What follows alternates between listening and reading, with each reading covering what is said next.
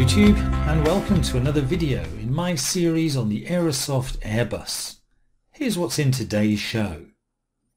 Adding a custom waypoint into a flight plan. Some of the differences between flying in Europe and flying in the USA. What to do when the Aerosoft checklists don't behave as expected. Correcting a crazy flight plan. Flex takeoff landing at close to maximum weight at a high altitude airport. So with all that still to come, let's head to flight planning. Today I'll be flying a circuit at the largest airport in the USA, Denver. Denver is a huge airport covering 53 square miles. That's twice the size of Manhattan. It has six, yes, six runways, the shortest of which is over 3,600 metres long. That's 12,000 feet in old money. The longest runway is an astonishing 4,877 metres long. Put another way, that's just over three miles. Oh, and one other interesting fact. Denver is called the Mile High City because, well, it's over a mile above sea level.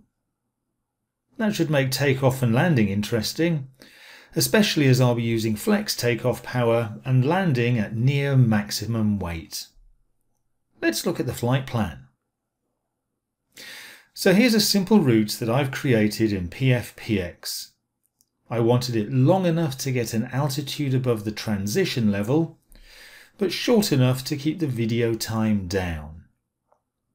I'm taking off from runway 17 right, then heading to the southeast to the waypoint D and D. Then it's a turn to the northwest to the Kipper IAF to land again on runway 17 right. A total journey of 138 nautical miles, approximate flight time 25 minutes. PFPX calculates that I should be landing with 3.8 tons of fuel on board. But because I fly with the default amount of fuel on board, I actually land with appreciably more than that at 6.2 tons. Should be interesting. Just before we enter the flight deck, there's one more thing to cover. I think the acute angle between my flight path and the Kipper IAF is too severe. It's a huge ask to expect a 60 ton aircraft travelling at 210 knots to make that sort of a turn. So, to smooth out the approach, I'm going to add a custom waypoint at 90 degrees to the Kipper IAF at a range of 10 nautical miles. This is a PBD waypoint, where PBD is a mnemonic standing for place, bearing and distance. I'll show how to program this into the MCDU in the flight section of the video. One final thought. If you ever fly to Denver and need to perform a go around, your first waypoint is titled Ho Hum. There's something rather zen about that. Let's go fly. So let's fire up the Aerosoft Airbus. We'll have the A320 in United Airlines livery today. Change the current location to KDEN for Denver and select runway 17 right. For the current time and season, we'll just set that to be daytime, which will set it to be around noon. With that done, let's load up. Let's fire up the checklist and co-pilots. Flight attendants, seats for takeoff. Before takeoff checklist. So for entering in the flight plan here, we're just going to go KDEN to KDEN. Simple and straightforward. Flight number, I'll just use TST123. Exterior lights. On for no good reason other than I couldn't think of a simpler one. Cost index will stick at 30 and our cruising flight level will be 190. With that done we can move forward to the flight planning page and we'll select our departure runway which is, of course is 17 right. We're not going to select an instrument departure so we'll clear the discontinuity. Next up let's do our arrival. We'll be arriving at runway 17 right again of course using the ILS. We'll select the D and D7 star and we'll go via the Kipper waypoint.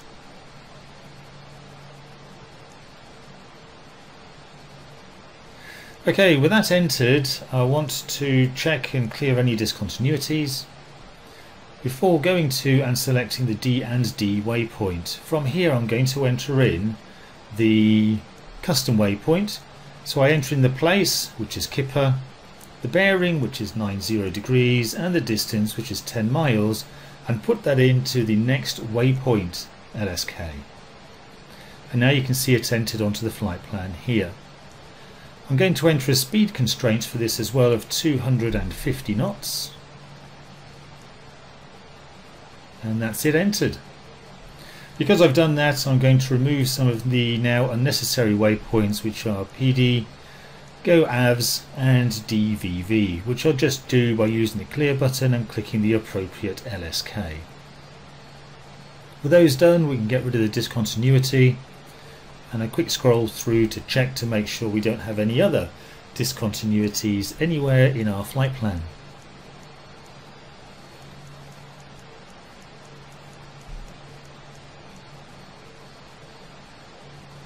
Okay, everything looks good. Time to put in the performance for our flap settings for takeoff.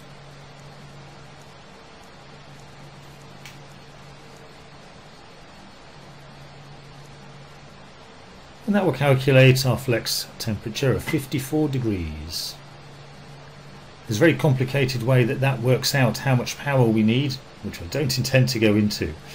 I've switched across the measurement for barometric pressure to inches of mercury because of course we're in the States and that's what they use over there. With that done we're about ready to go so take off the brakes move the throttle forward to approximately 50% power just to make sure that everything's working as it should and then push forward to the flex detent. Now I've just got a simple throttle which I need to push forward. There are no detents for things like climb or flex. I simply listen for when I hear the sound of it clicking into a detent and when I get to the appropriate point I stop.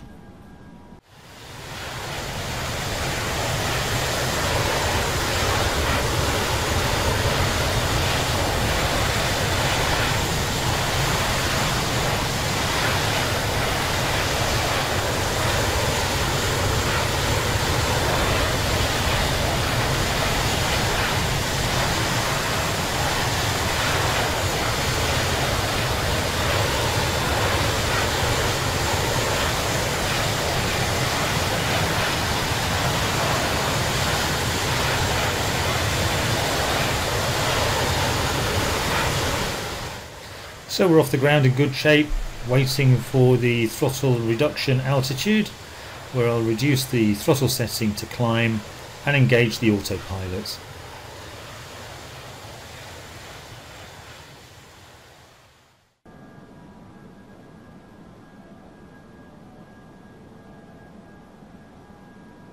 Climb thrust. Autopilot on.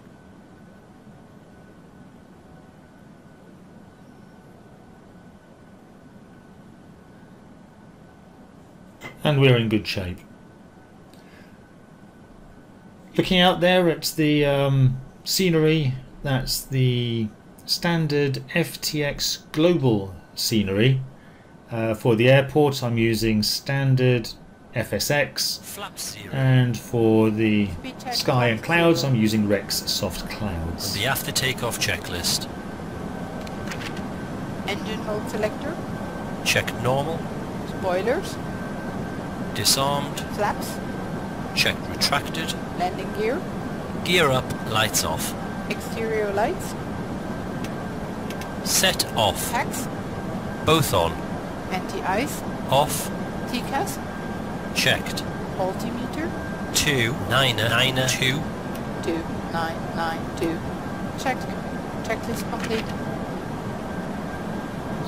So I'm just scrolling out on the range there so that we can get a view of the route as it's been programmed in just to make sure that it matches the picture that I had in PFPX. Now because this is uh, such a short flight and because there is really no cruise level I'm going to go and program the MCDU for the approach phase early on. I've got FSX set up to use the default weather, uh, which is fair weather for this trip, which gives us uh, winds of zero knots at zero degrees or 360 degrees, so that won't affect anything. Standard barometric pressure of 29.92. So it's quite easy to program this early without any concern that conditions may have changed by the time we get into land.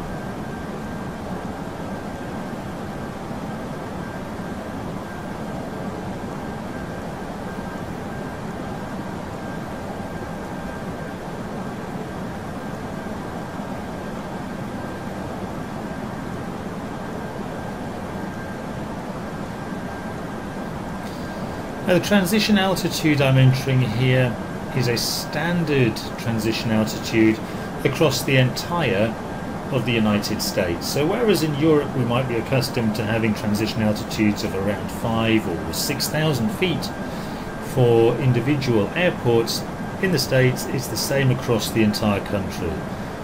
Seems like a great idea, uh, very sensible, there's no doubting what we should be setting the transition altitude to.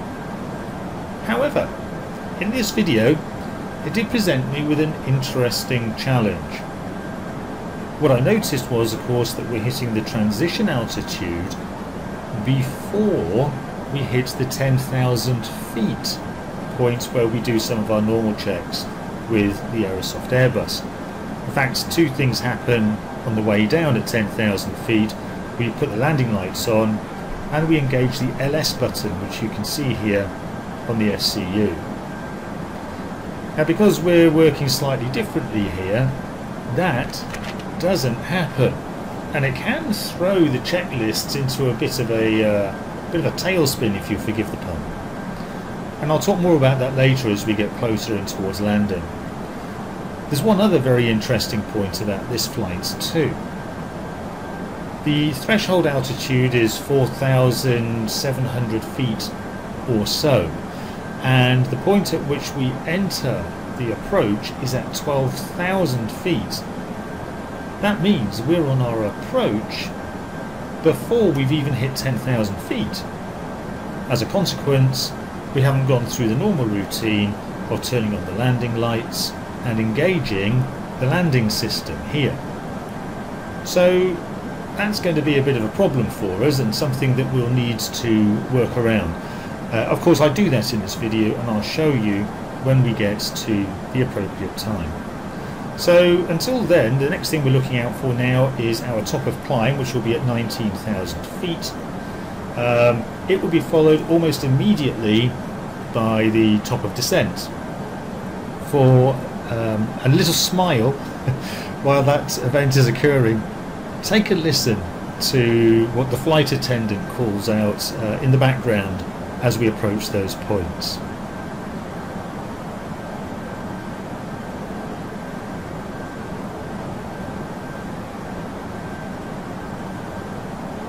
Transition altitude. Baro reference set and cross-check. Check.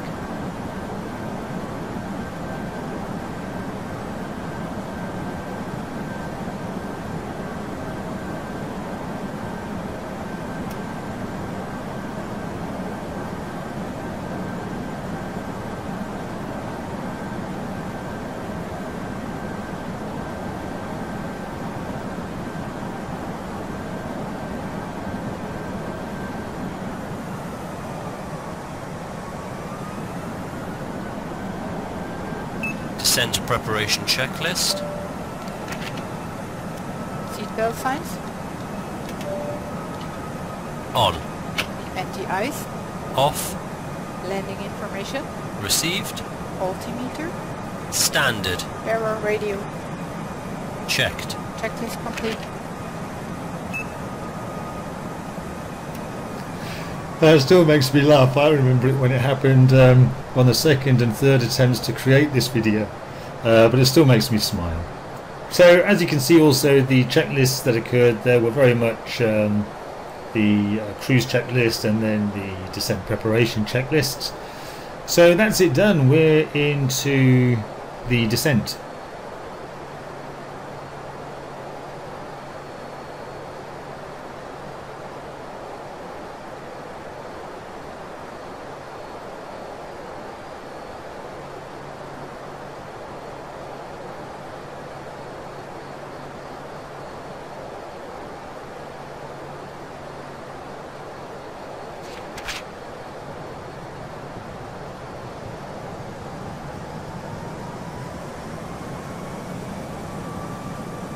Initiating descent. FMA check. Radar tilt. Set below.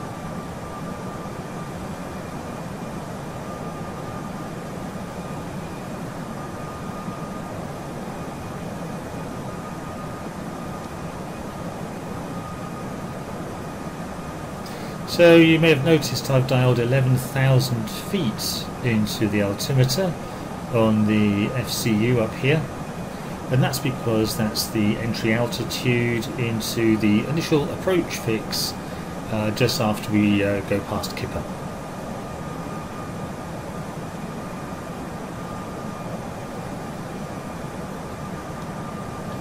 Next thing coming up is we'll be coming below the transition altitude again and there's a slight change to the way the transition altitude is dealt with in my earlier videos which have all been European based so far.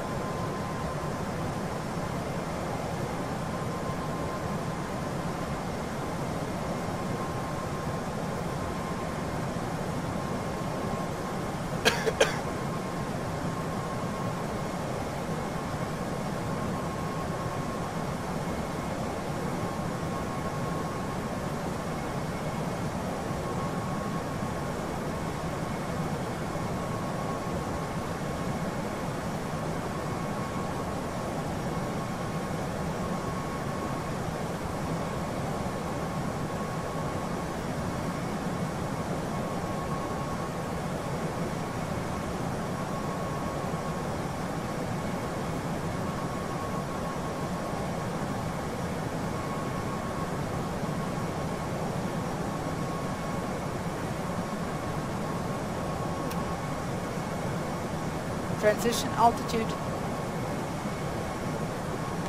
Checked. Two niner niner two. 2992. Checked. Lights on. On. So there's the difference uh, right there. This time, as we've come below transition altitude, we have activated the landing lights, which is an activity we would normally do when passing 10,000 feet. Interestingly though, we don't activate the landing system. And this is one thing where I don't know if it's um, an intentional or an accidental gap, but if we weren't aware of that, that's going to catch us out when we're on the approach because of course we want that landing system activated. I don't know what the real world procedure is here with regards to when you activate the landing light when your transition altitude is above the 10,000 feet altitude. If you know, or if you know somebody who knows, please leave a comment below. There's not an awful lot to see now and still until we get to the Kipper waypoint, so I will probably fast forward the video now and add in some interesting music to, uh, to fill in the gap and you'll rejoin me as we approach Kipper.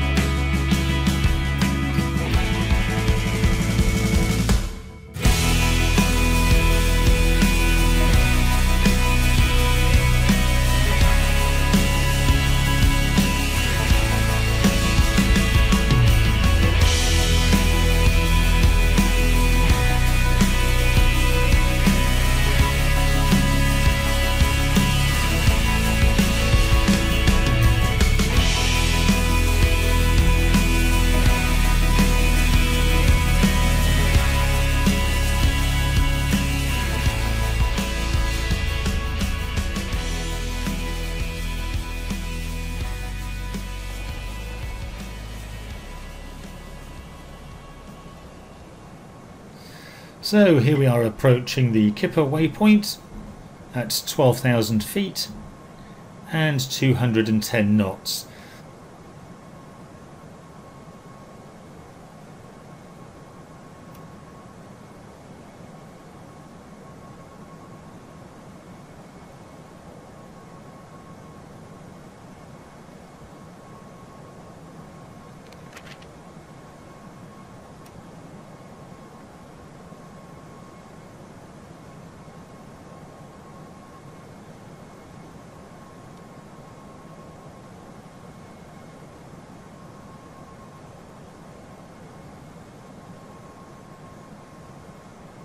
So turning on to the final approach now and I still haven't engaged the landing system. I'll do that now.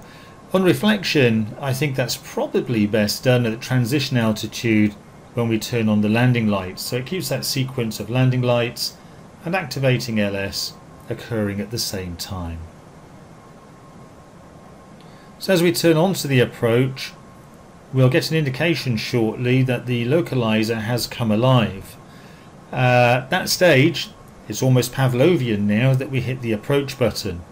But my experience has been not to do that when we're this far out from the field. So you can see at the moment we're just under 28 miles away from the threshold. Uh, as advertised there we can see the rhombus moving across the screen and the first couple of times I've flown this approach I've hit the approach button now to capture the localizer but when I've done that it made quite a pronounced maneuver off to the right hand side before swinging back to the left and trying to re-engage with the localizer beam. At this distance, it's not going to be as precise as it is when we get closer anyway, so I prefer to leave it a little while because our current flight plan is Approach taking us straight into the runway anyway.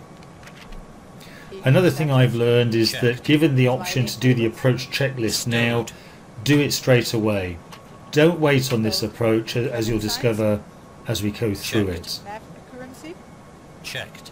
bearer reference, Checked. Two niner uh, niner uh, two. 2992. Checked. Checklist complete. We're invited to manually activate the approach phase and this is absolutely the right time to do it as it will start to slow the aircraft down. At this stage, 22 miles to run, I've activated the approach phase because we're already pretty much on the localizer and it doesn't need to make any changes to our current course. The one big problem that we've got on this approach is we can't reduce speed quickly enough for a nice stable approach and landing. I guess this is due to two things. Firstly, we're at altitude. We're not used to landing at a, an airport that's a mile high.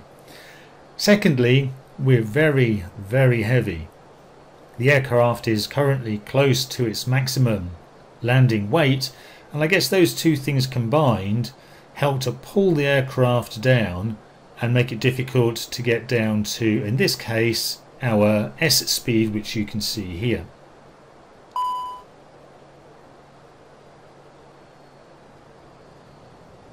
So what I do to get down to that speed is I deploy the speed brake.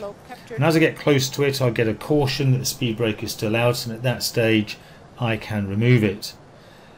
Once I've got down to the S speed, we can hold that speed quite comfortably, but getting it to that speed is the important part.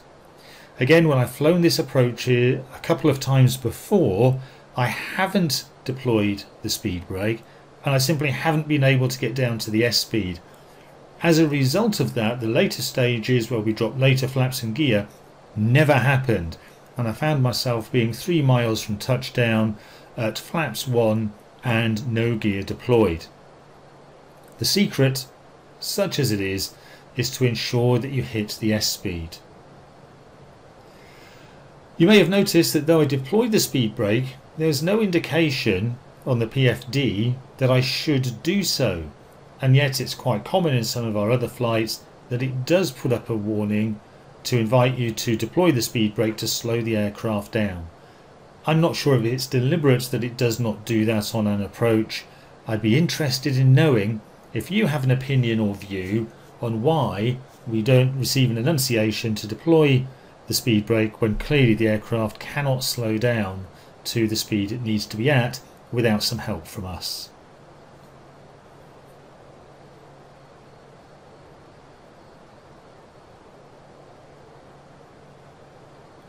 So at this stage with 12 miles to run everything is now looking good. We're on the localizer, we're on the glide slope, we're on the S for the speed. We're waiting now till we get to about six, five and a half miles from touchdown where the rest of the phase will go ahead. That's the rest of the landing phase will go ahead.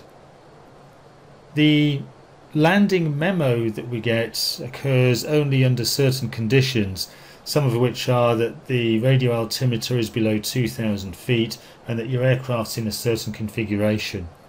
If it's not, it won't go through the final steps of the landing configuration before we land, and you'll have to do those manually or perform a go around and do the procedure again.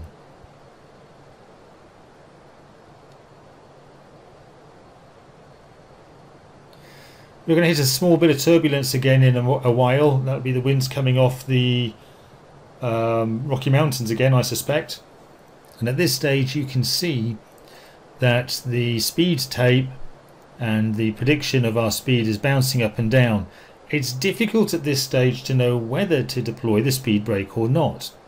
In the end, I decide to do it simply because our speed seems to be increasing and increasing and it's very important for us to keep it down at the right speed for the rest of the processes to follow through. 2,500.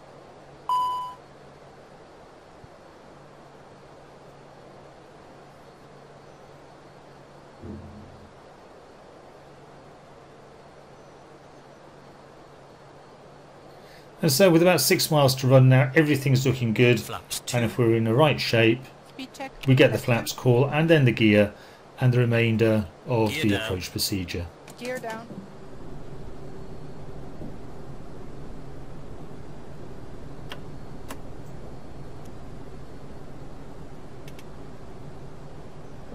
Flaps 3. Speed check. Flaps 3.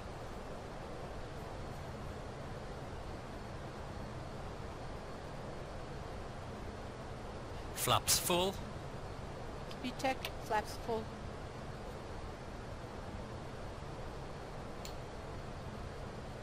Landing checklist.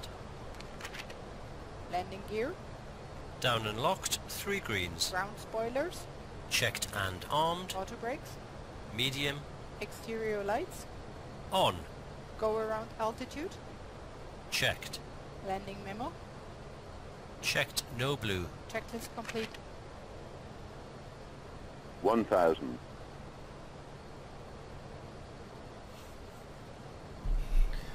Okay, everything's looking good now. We're settling down nicely to our V approach speed of about 137 knots.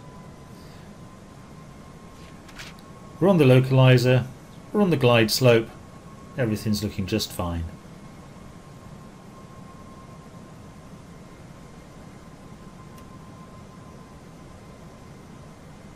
Five hundred. And over to the right you can see the very distinctive 400. roof of Denver International Airport. Nicely modelled given this is the standard FSX installation. 300. 100 above.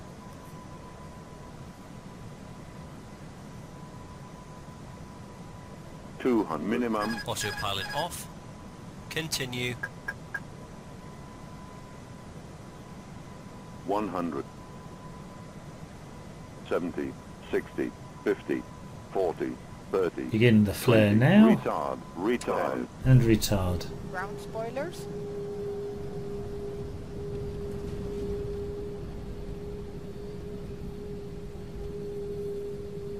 Slightly heavy on the landing perhaps, but nice and safe. We're in good shape.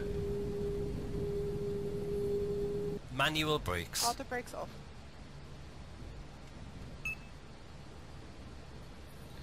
And stopped long before the end of the runway.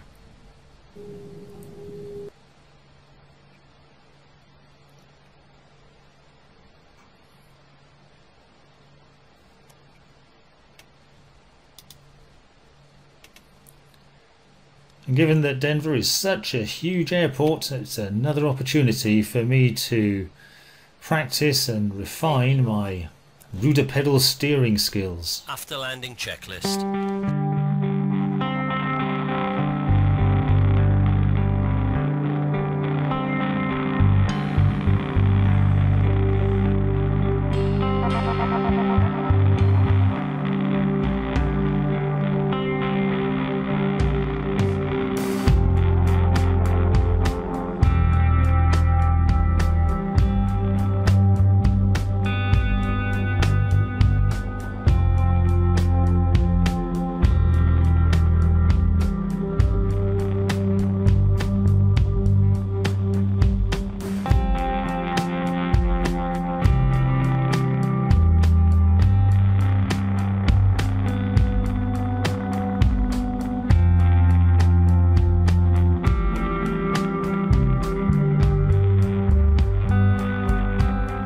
So that's it.